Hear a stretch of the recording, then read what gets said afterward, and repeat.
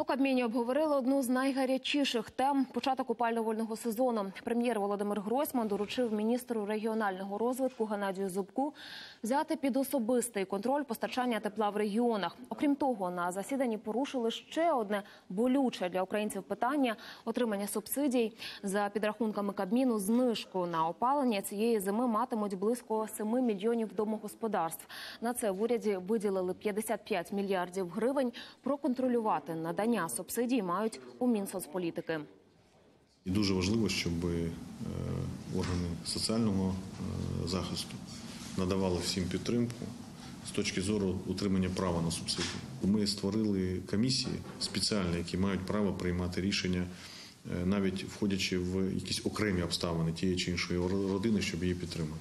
Тому я би просив жорстку вказівку комісіям, щоб вони приймали людей і завжди, якщо є питання або надати е, субсидію або не надавати. Багато українців думають про те, що е, уряд розпочинає опалювальний сезон. Насправді опалювальний сезон розпочинає конкретна рада громади, міська рада, е, районні ради.